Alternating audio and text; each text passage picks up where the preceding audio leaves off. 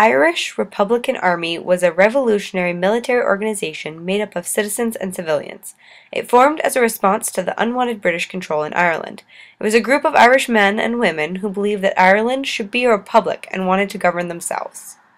The unrest about British control exploded during an event called Easter Rising in 1916, a combined rebellion enacted by the Irish Volunteers, the Irish Citizen Army, and the Cumann na mBan. Formed in Dublin in 1914 and largely active during this time of unrest, the na mBan was an entirely female paramilitary force. The objective of the na mBan, as stated in their constitution, was to advance the cause of Irish liberty.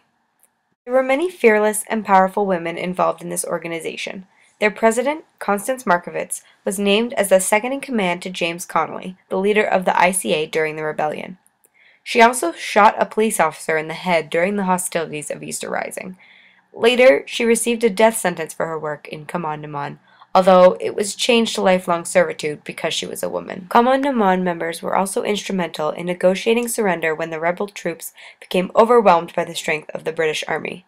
Elizabeth O'Farrell was the one to take the order of surrender to the troops fighting outside of Dublin.